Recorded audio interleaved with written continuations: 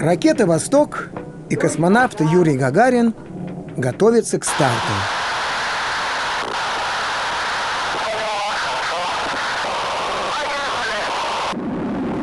12 апреля 1961 года ракета «Восток» вышла на околоземную орбиту. Началась эра освоения космоса.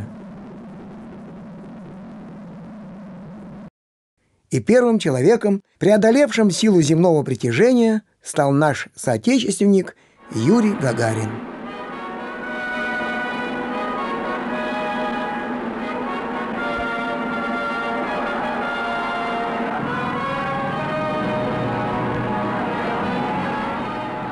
Миллионы людей на всей планете покорила улыбка первого космонавта Земли –